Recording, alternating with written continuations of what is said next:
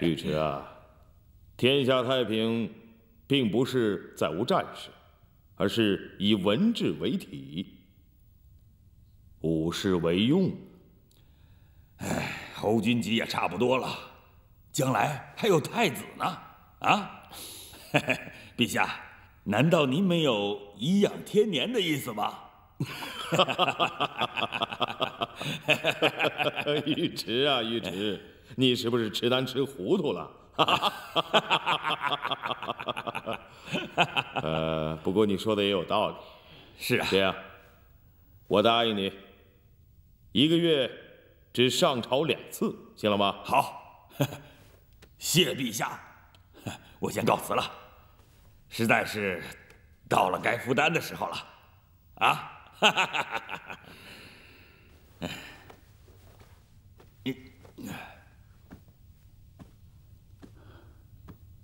哈哈哈哈！尉迟，朕就不耽误你了。好，不过吃丹没什么好处，一定要小心的。好，这我懂。那我告辞了。嗯，我先走了。哈哈哈哈哈！哈哈哈哈！人呐，有时候真是不一样。尉迟将军当年在沙场叱咤风云，你在和平之年被立为太子，无功受位，完全是因为你是长子。我听老师说，你在东宫不用功，不用功，将来怎么办呢？陛下，如果我有错的地方，我绝不再犯。最近我苦读《中庸》，获益良多。明天写了文章，请陛下过目。你不是笨人，去吧。是。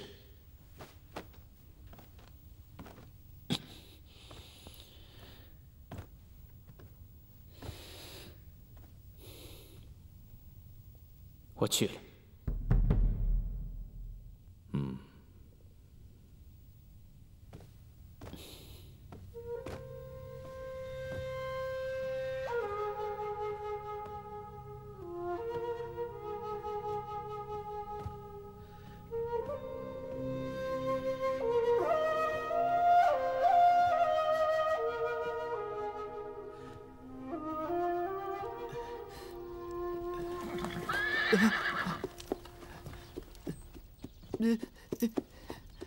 鸟，啊，你编扩地志，要行万里路。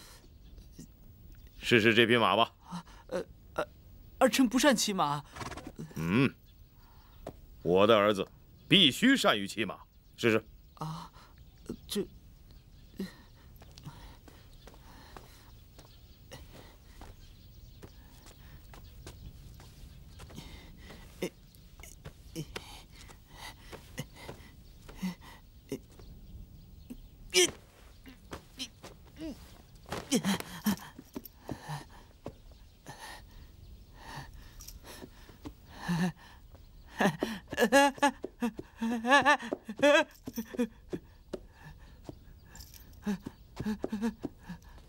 嗯，现在是天下太平了，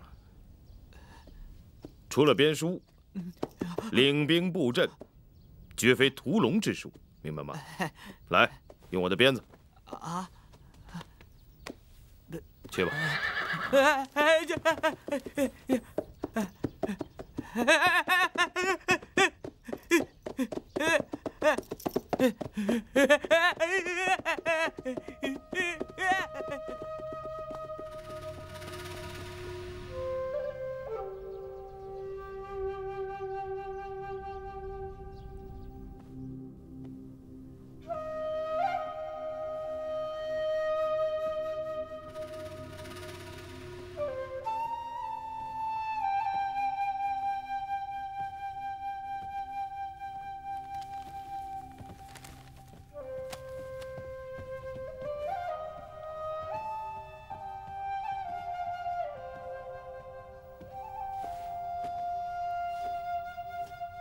拜见陛下。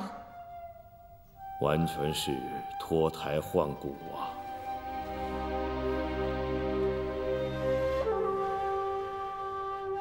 这还是我李家的女儿吗？陛下托付给我的是朝廷大事，不是儿女亲情。我怎敢掉以轻心？这些年，我一直勤学礼仪，聘师教授文史，唯恐不能完成陛下大任。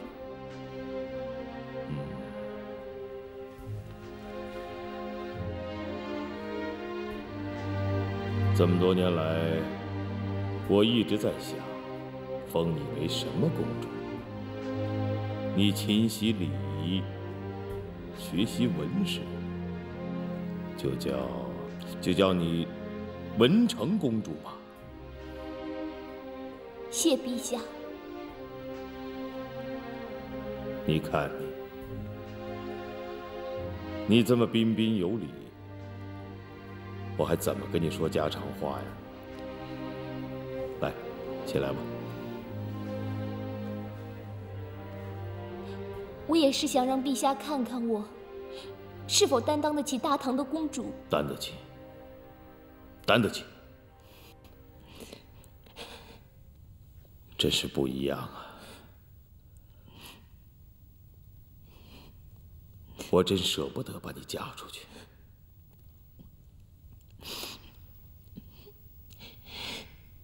好了，别哭了。我不舍得你出嫁，可是假期已经定了，三个月之后，吐蕃王就要派人把你娶走了。我舍不得父母，舍不得长安。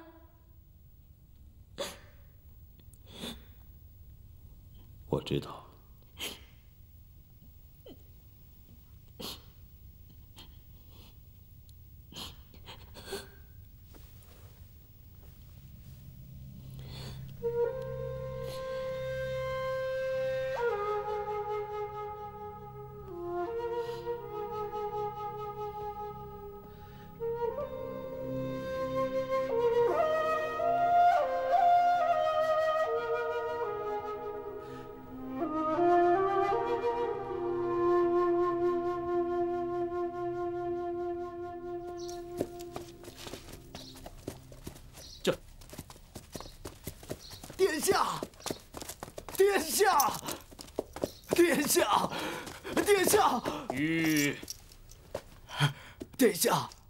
总是勤于兵法，但是将来以文治国，读书才是正道啊！我已经想明白了，书不必我亲自去读，你们读明白了告诉我就是了。不过武略，却不是读书可以明白的，否则那不就成了纸上谈兵了吗？驾！殿下！哎呀，我知道你要说什么，再说吧。驾！殿下！殿下，目前的处境不是太妙啊。陛下说过，太子不是不能废的。你，你亲耳听到的？是我亲耳听到的。魏王的扩地志，听说快编完了。大唐的山川河流，一切一切都在其中，而且会传之久远。殿下，你想陛下会怎么想呢？驾！哎，殿下，驾！殿下，您殿下，行动不方便，反而把打猎当做游戏，这种反常的行为会伤害殿下您的。殿下，终日操练军阵。游戏不堪入目，终日酒醉唱歌，只想得到耳目的快乐，移除性情的灵魂，实在是危险呐。心是主管一切的，行为无节制，这就是败德的根源呐。你，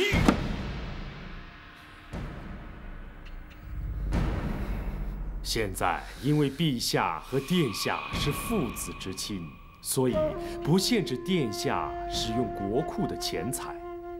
没想到陛下的诏令还不到两个月，殿下就超用了七万钱，骄奢淫逸，难道还有比这个更过分的吗？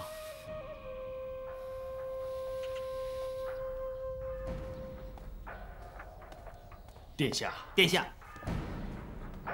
殿下，殿下，殿下，殿下，殿下，走开！你，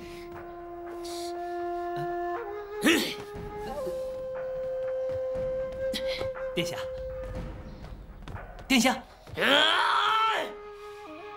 我再也受不了那个老头了！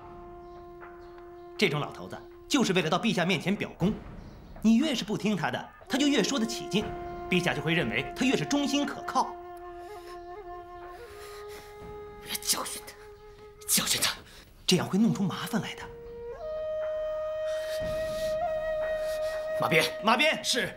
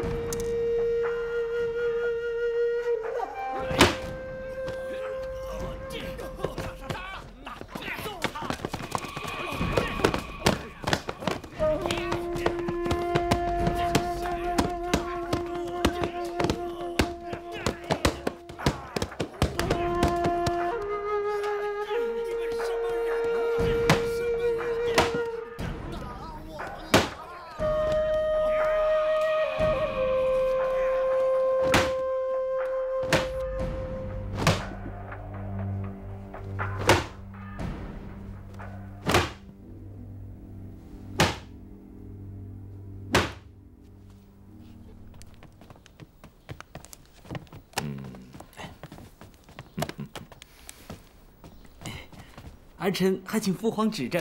啊，哈哈哈。魏大人、楚大人，请指正。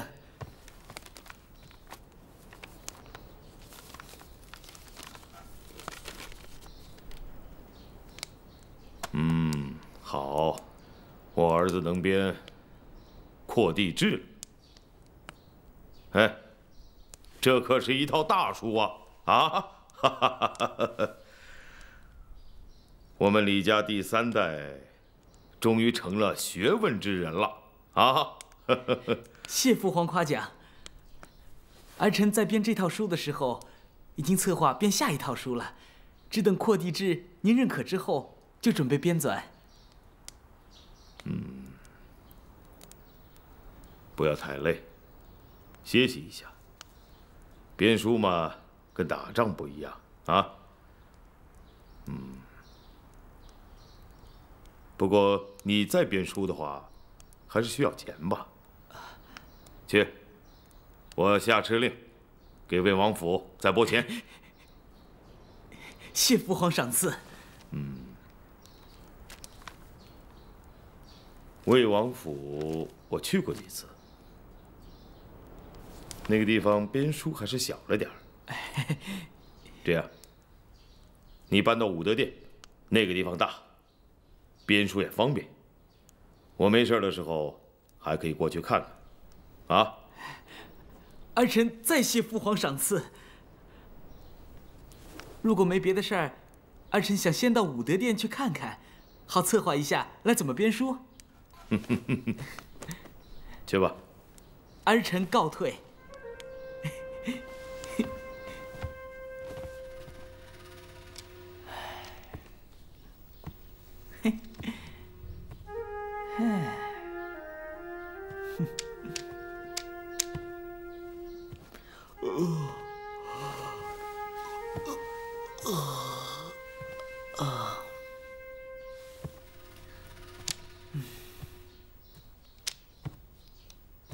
放那边。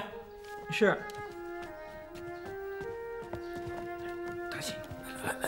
你们放那边啊！哎，过去过去。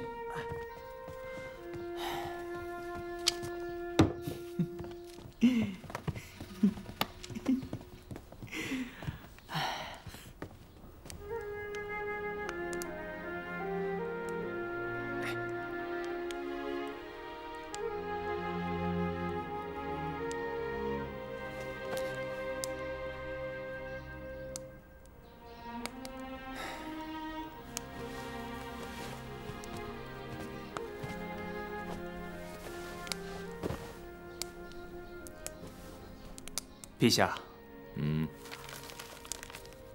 按照礼制，应该长幼有别，幼子不应该超过兄长，即便陛下心爱幼子，也不应该超越，这样可以避去嫌疑，免除祸乱。呢。该尊重的不尊重，宁奸之人就会乘虚而入。以前汉朝窦太后宠爱梁孝王，汉宣帝宠爱淮阳献王，都是不好的例子。现在魏王刚刚做出一件事，应该特别的告诉他，要谦虚。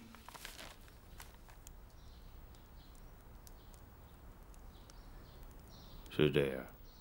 因此，臣以为，魏王府的费用不应该继续增加，甚至要减少，因为魏王府的费用目前已经超过了东宫。是不合理智的。嗯，对了，魏王府的费用朕加过一次，把那事给忘了。嫌疑还不止如此啊！陛下刚才许魏王移居武德殿，看起来是为他方便，但是武德殿在太极殿的东面。武德殿再向东才是东宫。当年海陵王元吉就住在武德殿呐。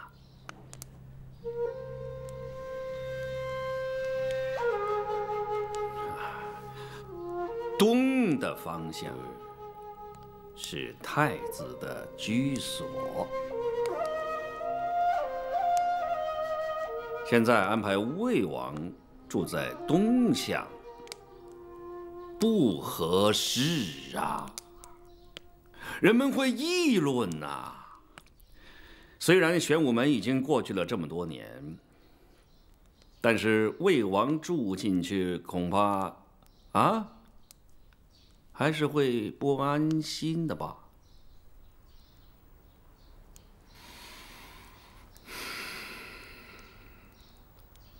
人们会议论的。朕应该想到这一点。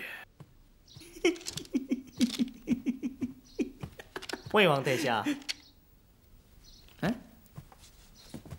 陛下手敕。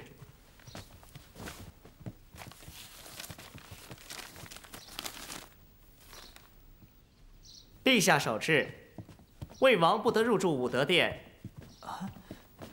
仍住回魏王府。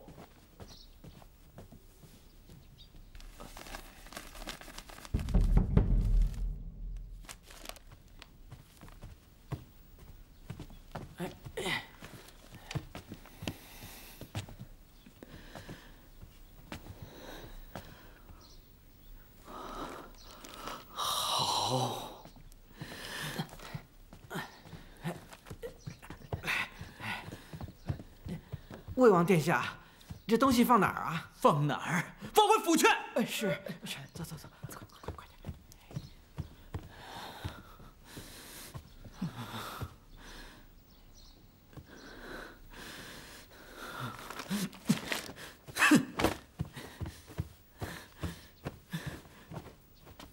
要好好想，再好好想想，听到没有？哎，殿下来了，好好想想。殿下，你们想的怎么样了？玩会儿。这太子，大家想来想去，各种游戏都玩过了呀，实在想不出有什么新花样了。我跟你们说啊，这些天我正高兴着呢，你们谁也不许扫我的兴。嗯嗯，你们去偷一头牛来，去偷一头牛。啊，太子要多少牛都有，可为什么要去偷牛呢？就是啊，偷牛干嘛？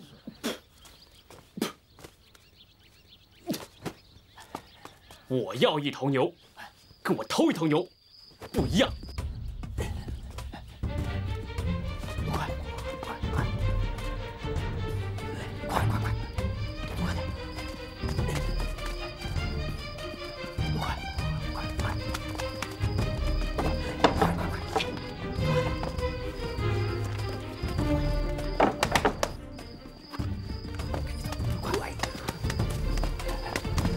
有人偷牛！有人偷牛！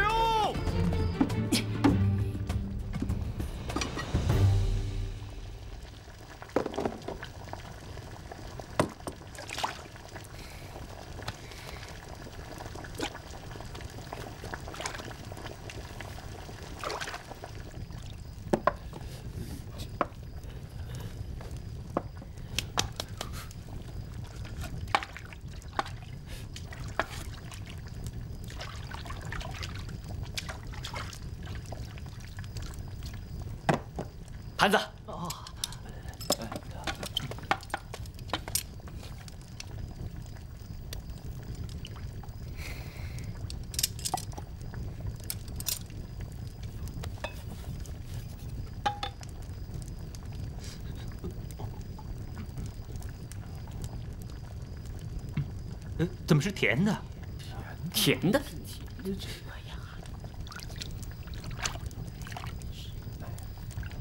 你尝尝。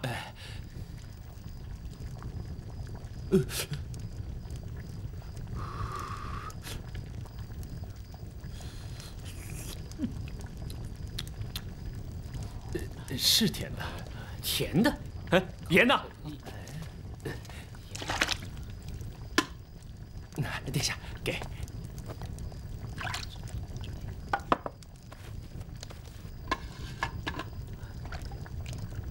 再尝尝。怎么样啊？差不多。呃，又甜又咸。又甜又咸。哎，算了算了算了算了，不吃了，明天拿出去喂狗。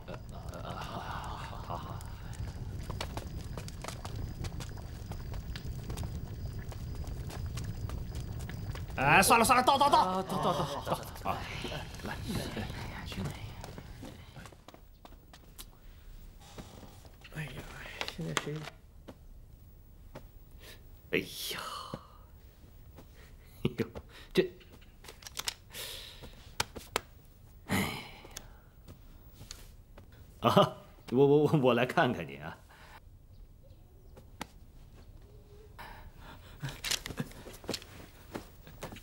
舅舅，这些东西是刚从武德殿搬回来的，还没来得及收拾，请舅舅见谅。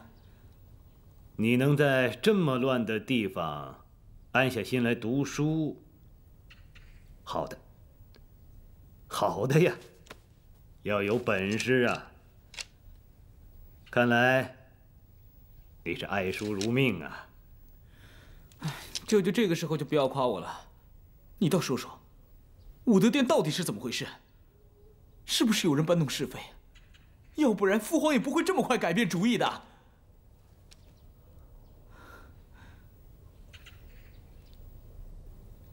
这个地方很好嘛，啊？我看比武德殿好。武德殿那个地方住着，会引起一些人的议论呢。一定是魏征！哼，舅舅，我说的没错吧？啊？这个人平时就这么多管闲事，什么事都得插一手。我就不明白，父皇为什么就爱用他呢？魏征有魏征的本事。舅舅，陛下用他。自有陛下的道理。你不是也不喜欢魏征吗？为什么你这么来说我呢？你可不要胡说八道啊！哼，我不要胡说。我说真话，算是胡说了。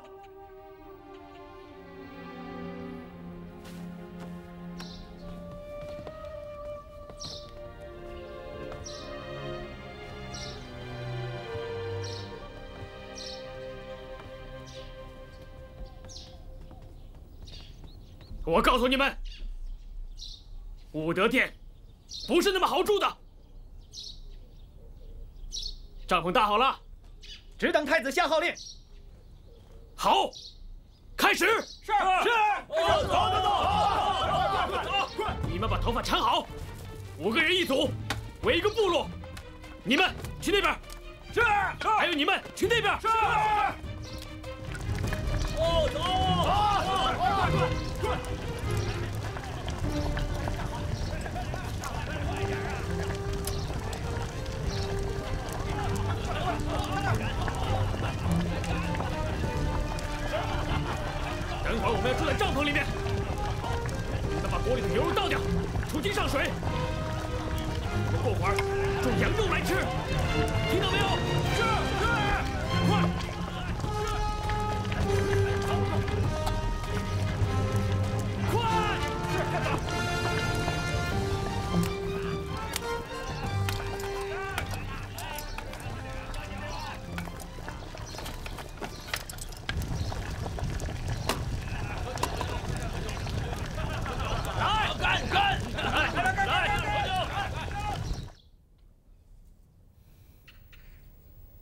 羊肉有那么好吃吗？呃，听说还不错。住口！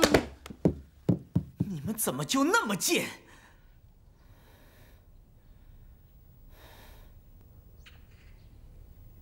我要想见你父亲，应该随时都可以去吧？啊？呃，我要让太子少师知道，太子现在在干什么。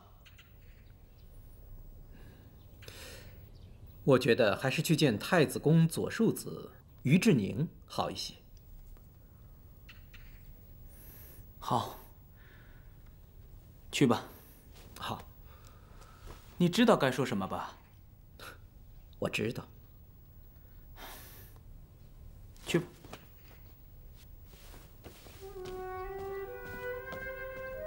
羊肉有那么好吃吗？呃，不不不不，不好吃，不好吃。叫他们也给我杀只羊，呃，我也要尝尝。是。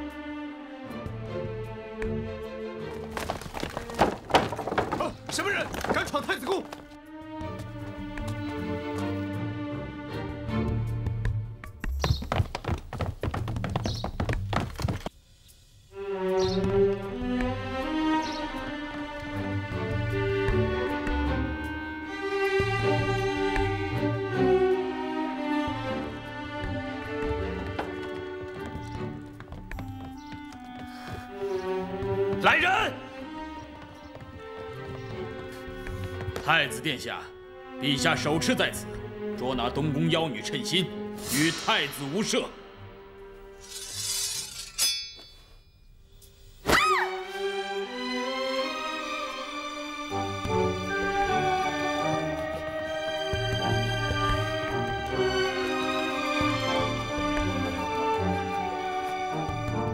太子殿下，请随赤使向陛下复命。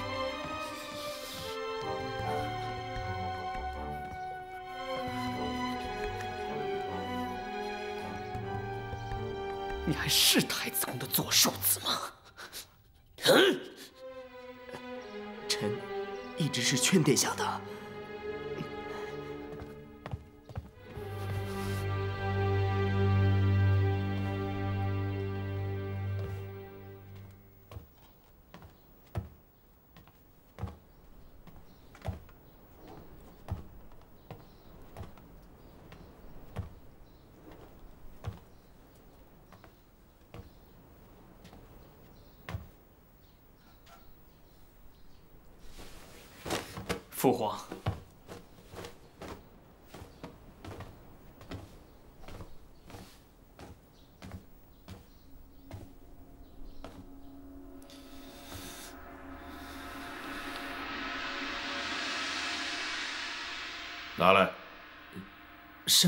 下？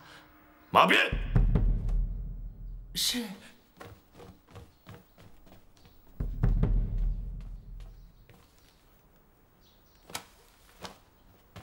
转过身去，转过去。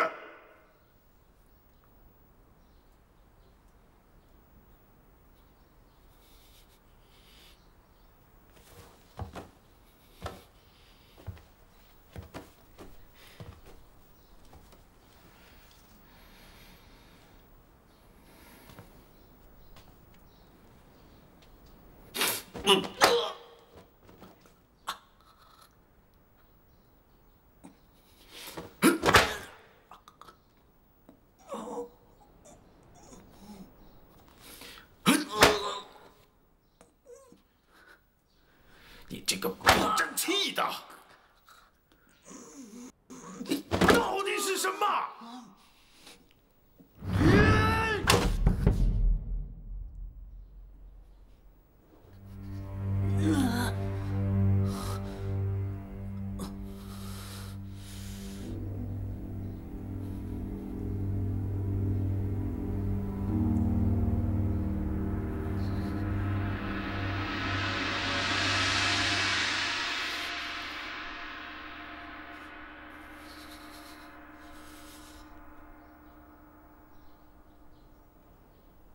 下用马鞭，是家法还是国法？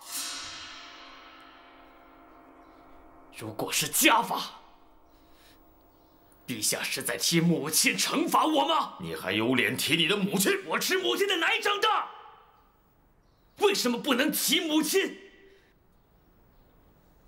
玄武门那天早上，是母亲守在我的门前，手持短剑阻止任何人伤害我，而你今天伤害我。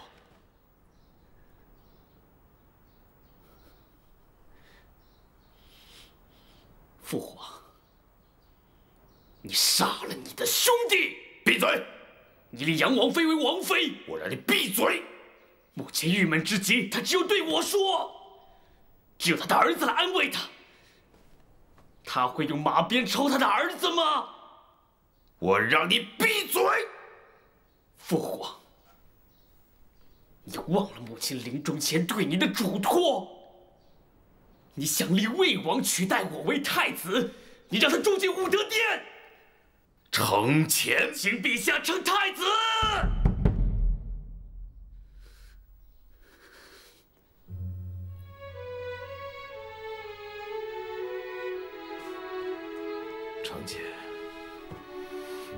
到底想干什么？陛下想要干什么？母亲的在天之灵会保佑我的。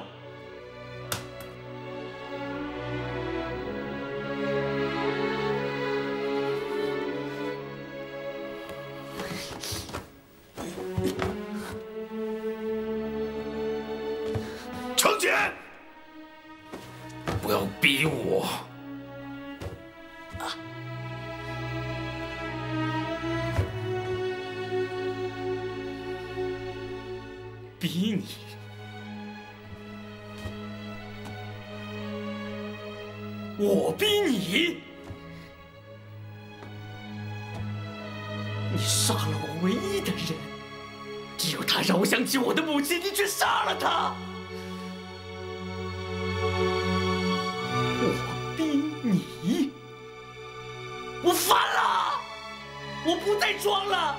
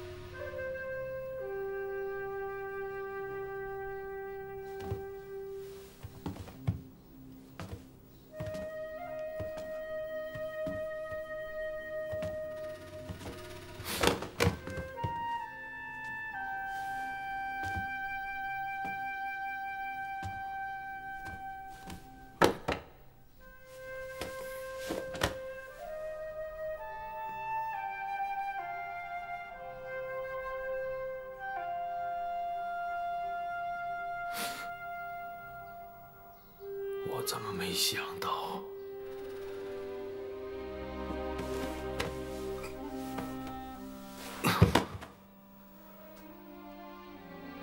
他才是我们李家的主。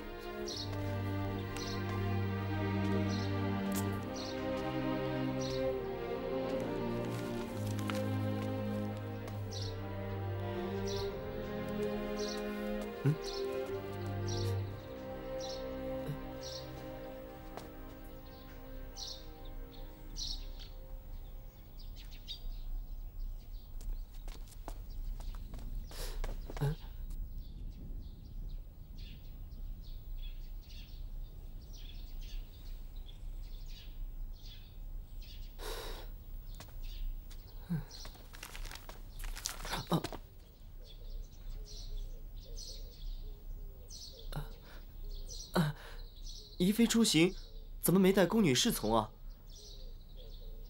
靖王不也是一个人，没有侍从吗？呃，在屋里待久了闷得慌，一个人出来走走散散心，图的就是一个清静。有侍从跟着，总还是别扭。靖王可不同一般的王公贵族，他们呐，只懂得贪图享乐。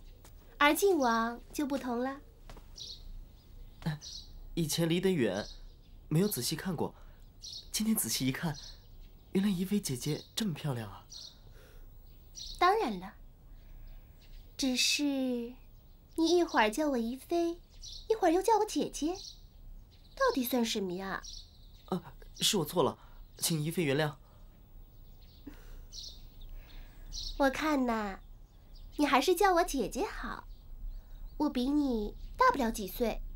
那就叫姐姐，我喜欢叫姐姐。只是，只是，不要叫别人听到。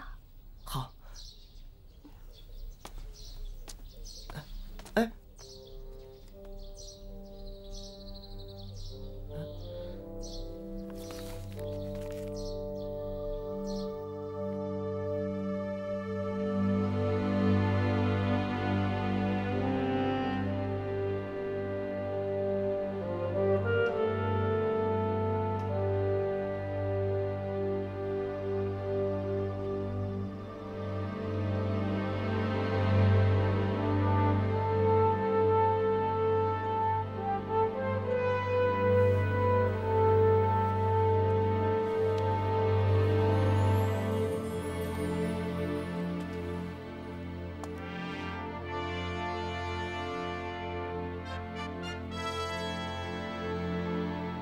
今天是贞观十五年正月十五，